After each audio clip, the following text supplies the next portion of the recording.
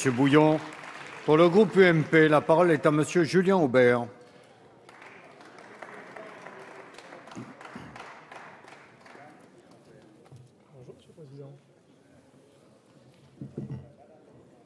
Monsieur le président, monsieur le Premier ministre, madame le ministre, nous allons nous prononcer sur une loi politique chargée de solder les comptes de l'accord partisan conclu entre les Verts et le PS en 2011. Quel gâchis François Hollande avait annoncé un texte majeur du quinquennat. Il en a résulté un texte escamoté, examiné à la va-vite, voté sur un coin de table. Deux, trois grands principes vagues et idéologiques, perdus au milieu d'une multitude de mesures techniques. Tout ceci non chiffré. Or, vouloir construire 20 000 éoliennes, 600 km de panneaux photovoltaïques et démanteler 20 réacteurs en 10 ans, cela a un coût. Madame le ministre nous avait annoncé une loi consensuelle de co-construction. Au final, faute de temps, la majorité aura examiné à la hache, en un seul jour, 70% des articles la en commission spéciale et 98% des articles de la loi en hémicycle, seule avec elle-même, l'opposition ayant boycotté ce simulacre de travail. Afin de cacher la, la grossièreté de la manœuvre, la majorité a crié à l'obstruction. Certains médias ont complaisamment relayé le discours officiel en mettant sur le dos de l'UMP l'absence de débat. Quand on veut noyer son chien, on l'accuse de la rage. Faut-il rappeler que la discussion de ce texte a débuté sur un mensonge? Ségolène Royal s'était engagée devant la presse et devant la commission spéciale à ne pas recourir au temps programmé. Faut-il rappeler que le mariage pour tous, autre texte majeur, a eu droit à 136 heures de débat à l'Assemblée? Faut-il rappeler que l'UMP a déposé 1423 amendements, soit la moitié du total, à comparer aux 137 000 amendements déposés par le Parti socialiste sur la privatisation de GDF Suez? Je vous le demande, où est l'obstruction? Au final, le texte n'a écouté ni les acteurs consultés en amont, comme l'a vertement rappelé Delphine Bateau, ni repris les conclusions de l'autre débat sur la transition énergétique.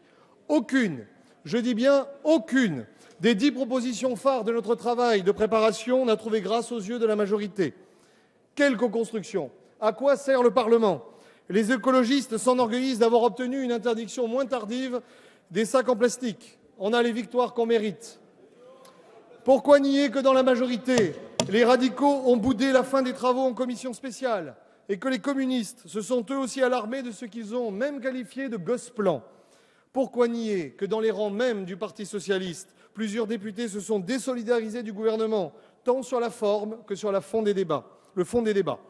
On aurait attendu d'un ministre qui a tant vanté les mérites de la démocratie participative une autre attitude. Aucun responsable de l'opposition, je dis bien aucun, n'a été approché en amont ou pendant l'examen de ce texte pour examiner sérieusement nos propositions. Madame le ministre a même osé nous dire que la co-construction, c'était rejoindre le point d'équilibre de ce texte conclu entre le PS et les Verts sur le nucléaire. Dans ces conditions, la majorité a une audace certaine en reprochant à l'opposition d'avoir épuisé son temps de parole sur l'article premier de ce texte en multipliant au passage les attaques ad hominem. Oui, nous pensons que consacrer 12 heures de temps de parole à un article fondateur qui fixe tous les grands objectifs de la stratégie énergétique de ce pays pour 50 ans, c'est parfaitement normal.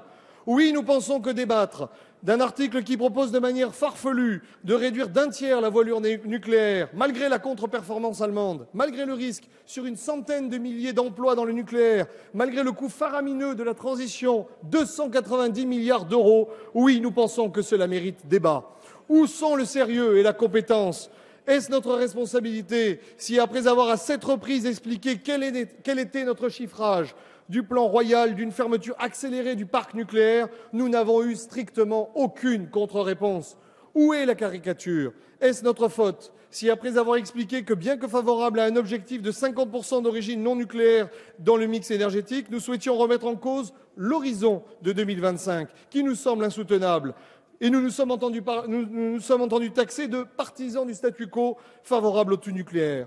Où est la mauvaise foi? Est-ce notre problème si, après avoir déposé des amendements pour privilégier les énergies vertes non électriques, nous nous sommes vus caricaturés par Madame le ministre qui a osé nous dire que nous avions déposé des amendements pour interdire les énergies vertes?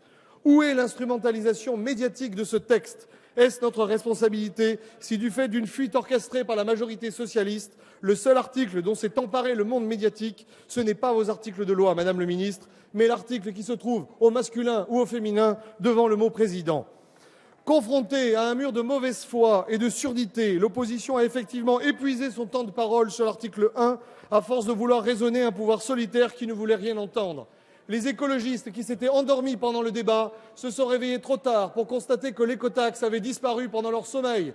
Il vous reste les sacs en plastique, on a les victoires qu'on mérite. Quant aux autres avancées de ce texte, pétries de bonnes intentions, eh bien, elles sont hélas desservies par une absence de réflexion sur les moyens à engager le groupe UMP votera contre ce texte qui est l'incarnation même de ce que les Français réprouvent, un passage en force sur la forme, de grands principes mais aucun moyen financier derrière, un volontarisme totalement irréalisable dans les conditions d'exercice actuelles du pouvoir.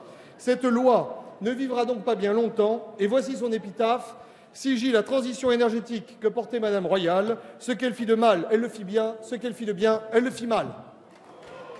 Je fais annoncer le scrutin.